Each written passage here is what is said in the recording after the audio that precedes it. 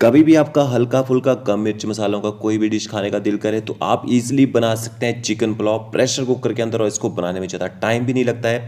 सिर्फ़ 20 से 25 मिनट में आपका जो चिकन पुलाव है बनके तैयार हो जाएगा और चिकन देखिए कितना सॉफ्ट और जूसी चिकन है।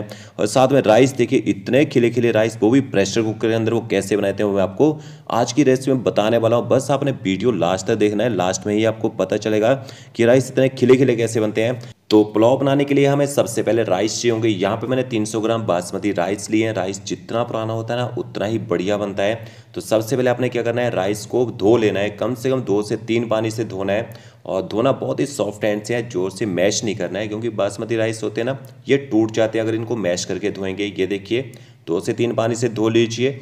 इसके बाद अपने राइस को कम से कम 30 मिनट तक पानी में भिगो के रख देना है। भिगो के राइस को बनाएँगे। राइस में लेंथ अच्छी आती है। और यहाँ पे मैंने आधा के जी बीत बोन चिकन ली है। आप बोनलेस चिकन का यूज़ भी कर सकते हैं। और ये देखिए लेग पीस में अच्छे से कट भी लगवा दी है, ताकि अच्छे से पके, नमक मिर्ची का टेस्ट अंदर तक जाए। आधा छोटा चम्मच इसमें नमक ऐड करेंगे और एक छोटा चम्मच आपने इसमें जिंजर कली पेस्ट ऐड करना है और अच्छे से आपने चिकन को मिक्स कर लेना है। कम से कम पंद्रह से बीस मिनट तक इसी मैरिनेशन में चिकन को छोड़ दीजिए। और थोड़े से यहाँ पे मैंने खड़े मसाले लिए लौंग चबित्री हरी मिर्ची, दालचीनी का टुकड़ा और तेज पत्ता, छोटी इलायची और बड़ी इलायची, इनका यूज़ करेंगे फ्लेवर के लिए।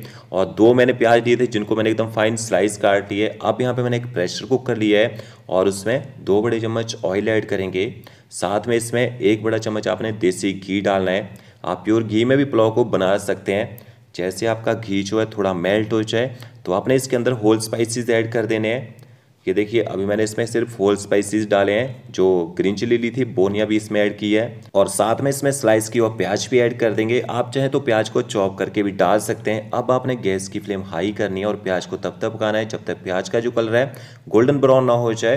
लाइट गोल्डन एक गोल्डन ब्राउन प्याज का कलर करना है, तभी पुलाव में अच्छा कलर आएगा, देखिए। और जैसे प्याज आपका गोल्डन कलर में हो जाए, गैस की फ्लेम आपने एकदम लो कर देने नहीं तो प्याज इस टाइम में जल जाता है। जल गया तो कड़वा टेस्ट देगा प्याज। साथ में जल्दी जल्दी आपने इसमें चिकन भी ऐड कर देना है, क्योंकि प्याज प्रॉपर गोल्डन हो चुका है। चिकन भी ऐड कर दिया, यहाँ पे मैंने देखा और चिकन को ना अच्छे से मिक्स कर लेते हैं प्याज के साथ में। इसके बाद अपने गैस की फ्लेम मीडियम कर देनी है और मीडियम फ्लेम में चिकन को कम से कम 10 मिनट तक भूनना है यहाँ पे। एक बार अच्छे से मिक्स कर लेते हैं। यहाँ पे मैंने सिर्फ़ दो मिनट तक अभी चिकन की बुनाई की है। इसके ऊपर से इसको कवर कर देते हैं। इसके ऊपर ढक्कन लगा देते हैं ताकि चिकन थोड़ा सॉफ्ट हो जाए। और ये देखिए, कम से कम दो मिनट तक आप इसको कवर करके पकाइए। और इसके बाद देखिए, आपको दिख रहा होगा यहाँ पे कलर जो है चिकन का यहाँ पे चेंज हो चुका है। तो अभी टोटल चार से पाँच मिनट हो गए चिकन को बुनाई करते हुए। चिकन को भूनने से क्या होता है? चिकन के अंदर जो एक कच्ची स्मेल होती है ना, वो खत्म हो जाती है और दूसरे चिकन के जो पीसीज है ना, वो टूटते नहीं है। नहीं तो आप इसको डायरेक्ट बॉयल करेंगे ना चिकन के पीसेस सॉफ्ट होंगे टूटना शुरू हो जाते हैं। फिर हम इसमें हरी मिर्ची भी ऐड कर देंगे और साथ में आपने इसके अंदर काली मिर्च का क्रश डालना है। कुटी काली मिर्च डाल दीजिए। ये तीखा करने के लिए आधा छोटा चम्मच नमक का और ऐड कर देते हैं इसमें और अच्छे से मिक्स कर लेते हैं और इनको भी थोड़ी देर भून लेते हैं। अब मुझे काफ़ी सारे कमेंट्स आते हैं कि बिरयानी और पुलाव में फ़र्क क्या होता है? बिरयानी को बनाने के लिए काफ़ी सारे स्पाइसेस का यूज़ किया जाता है। पुलाव बिल्कुल सिंपल होता है। पुलाव को बिल्कुल सिंपल तरीके से बनाता है। ज़्यादा स्पाइसेस का यूज़ नहीं किया जाता है। और ये देखिए चिकन को मैंने यहाँ पे 10 मिनट तक भून लिया है। अब हम इसके अंदर पानी ऐड करेंगे। पानी कितना डालना है दिखाता हूँ। इससे मैंने राइस लिए थे एक सूप बॉल से। अब इसी से हम पानी डालेंगे। तो ये देखिए, एक सूप बॉल मैंने भर के पानी ऐड कर दिया है। और एक सूप बॉल और पानी का ऐड कर देते हैं बट जो दूसरा सूप बॉल है, पूरा भर के नहीं डालना है, थोड़ा सा कम सूप बॉल डालना है आपने।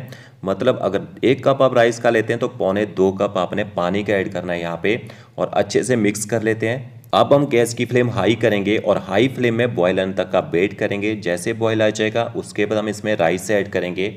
मैंने इसमें कोई भी हल्दी पाउडर कोई भी देगी मिर्च पाउडर का यूज़ नहीं किया है, फिर भी राइस में जो कलर है ना, बहुत ही बढ़िया आएगा। तो चिकन को यहाँ पे उबलते हुए कम से कम तीन से चार मिनट हो चुके हैं। अब हम इसमें थोड़ा सा हरा धनिया डाल देते हैं, फ्लेवर के लिए, ताकि अच्छा धनिया का फ्लेवर भी आए पुलाव के अंदर। और साथ में इसमें आपने राइस भी ऐड कर देने हैं। तो जो राइस मैंने भिगो के रखे थे, पूरा पानी आपने निकाल देना है। पानी बिल्कुल नहीं होना चाहिए इनके अंदर। अगर इनके अंदर थोड़ा बहुत पानी एक्स्ट्रा रह गया तो फिर आपका जो पुलाव है ना, वो गीला हो सकता है। तो इस तरह से पानी निकाल के आपने राइस भी डाल देने हैं प्रेशर कुकर के अंदर। और राइस डालने के बाद आपने एक बार अच्छे से चिकन के साथ राइस को मिक्स कर लेना है बट ज़्यादा पलटा नहीं चलाना है। देखिए, बहुत ही आराम से आपने राइस को मिक्स करना है चिकन के साथ में, ताकि हमारे जो राइस है ना, वो टूटे ना यहाँ पे। देखिए, अच्छे से मिक्स करने के बाद अब गैस की फ्लेम आपने हाई कर देनी है और हाई फ्लेम में बॉयल आने तक का वेट करेंगे।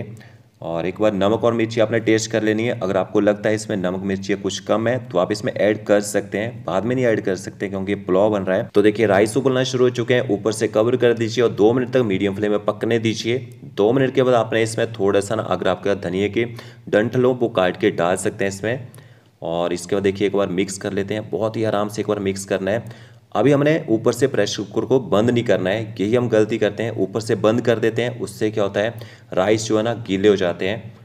तो क्या देखिए, फिर से ऊपर इसके ढक्कन रख देते हैं और फिर से इसको दो से तीन मिनट तक पकने देते हैं। ऐसा करने से क्या होगा, आपका जो चिकन है वो भी अच्छे से पक जाएगा और जो आपके राइस है ना, वो भी खिले खिले बनेंगे। तो ये देखिए, यहाँ पे टोटली पाँच मिनट हो चुके हैं चिकन को और राइस को पकाते हुए और राइस का जो पानी है बहुत ही कम हो चुका है। इसके बाद आपने ऊपर से कवर कर देना है और मीडियम फ्लेम में आपने दो बिसल लगवानी है यहाँ पे। और जैसे प्रेशर कुकर में दो विसल आ जाए, आपने गैस की फ्लेम बंद कर देनी है और गैस की फ्लेम बंद करने के बाद स्टीम नहीं निकालनी है एकदम से, स्टीम के अंदर ही रहने देना है। जब अपने आप स्टीम निकल जाए तो उसके बाद आप ढक्कन खोलिए और पुलाव को चेक कीजिए तो आपको राइस कुछ ऐसे दिखेंगे। बट एक और गलती करते हैं कि राइस को हम सीधा प्रेशर कुकर में ही रहने देते हैं। उससे क्या होता है जो नीचे वाले राइस होते हैं ना गीले हो जाते हैं। तो उसके लिए भी तरीका बताता हूँ।